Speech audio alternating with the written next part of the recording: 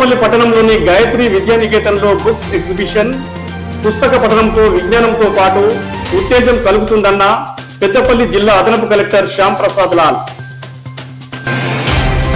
అప్పనపేటలోని శ్రీ కోదండ రామాలయం శ్రీ భక్తాంజనేయ స్వామి దేవాలయాలను దర్శించుకుని స్వామివారికి ప్రత్యేక పూజలు నిర్వహించిన పెద్దపల్లి ఎమ్మెల్యే చింతకుంట విజయ రమణారావు త్వరలో మళ్ళీ ఒకసారి అప్పనపేట గ్రామాన్ని సందర్శించి అందరి సహకారంతో గ్రామాభివృద్ధికి తన వంతు కృషి చేస్తానని తెలిపిన విజయ రమణారావు. పెద్దపల్లి అసెంబ్లీ నియోజకవర్గంలోని ప్రతి బీఆర్ఎస్ పార్టీ కార్యకర్తకు అండగా ఉంటా పెద్దపల్లి మాజీ ఎమ్మెల్యే దాసరి మనోహర్ రెడ్డి.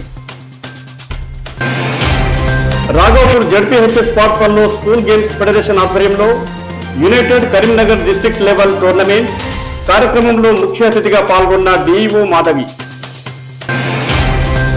అప్పనపేట గ్రామంలోని శ్రీ కోదండ రామాలయం శ్రీ భక్తంజనేయ స్వామి దేవాలయంలో అత్యంత వైభవంగా శ్రీ సీతారామచంద్ర స్వామి తిరు కళ్యాణ మహోత్సవం శ్రీ సీతారామచంద్ర స్వామి తిరు కళ్యాణ మహోత్సవాన్ని కనులారా తిలకించి తరించిన భక్తులు.